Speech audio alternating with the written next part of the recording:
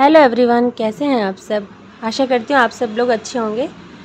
आज मैंने बहुत दिनों के बाद वीडियो बनाया है क्योंकि आजकल टाइम बहुत कम मिल पाता है बच्चों के साथ में, क्योंकि बच्चों के एग्ज़ाम चल रहे थे। तो कोशिश करूँगी मैं आगे जल्दी जल्दी वीडियो बनाऊँगी।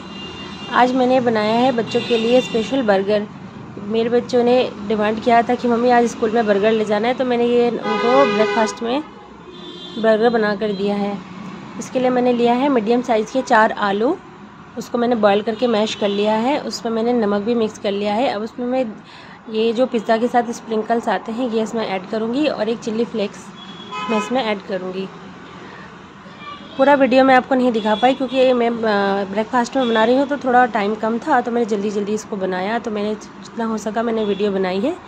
देखिए, मैंने इसकी आलू की टिक्की बना ली है। उसको मैश करके अच्छे से उसकी टिक्की बनाकर मैंने नॉन स्टिक पैन पर इसको सेकने के लिए रख दिया है। दोनों तरफ़ से टिक्की को अच्छे से सेक कर ये देखिए मैंने सारी टिक्की जितनी मैंने बनाई थी सब मैंने उसमें रख दी है। टिक्की को हम दोनों तरफ़ से अच्छे से सेक लेंगे। जब ये अच्छे से सेक कर तैयार हो जाएगी, देखिए ब्राउन कलर की, अच्छे से ब्राउन कलर इन पर आ जाएगा। तब ये बनकर बिल्कुल तैयार हो जाएँगे बर्गर बनाने के लिए। ये बहुत ही टेस्टी बर्गर बनेगा। इसके लिए हम एक बन लेंगे। देखिए, हमने, मैंने एक बन ले लिया है। उसको मैंने बीच से काट कर रखा हुआ है और हमने पनीर के स्लाइस स्लाइस लिए हैं। एक बर्गर में हम एक स्लाइस की ज़रूरत पड़ेगी।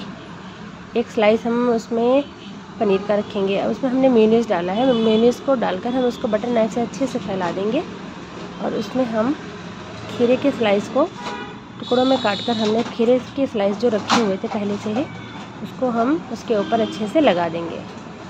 अभी मैं वीडियो आपको बहुत जल्दी में बता रही हूँ, क्योंकि समय बहुत कम होता है। ब्रेकफास्ट के समय बच्चों को वैसे भी स्कूल के जाने के लिए लेट होती है। मैं फिर भी कोशिश करूँगी जल्दी जल्दी बताती हूँ आपको।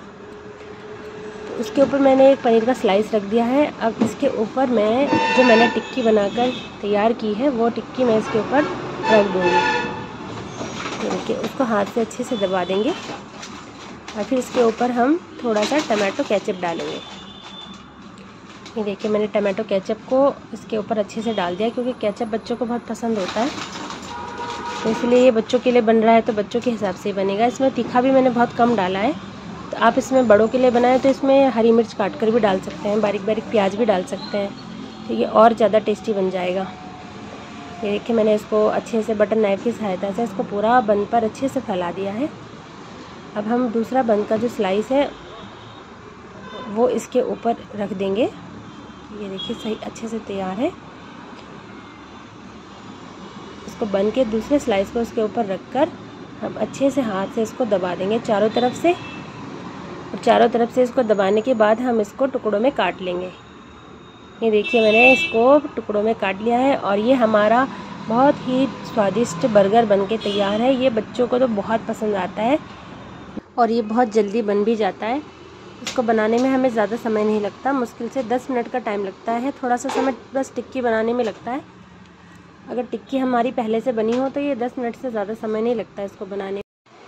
आपको मेरी ये रेसिपी पसंद आए तो वीडियो को लाइक कीजिएगा, मेरे चैनल को सब्सक्राइब कीजिएगा। मिलते हैं अगली वीडियो में, तब तक के लिए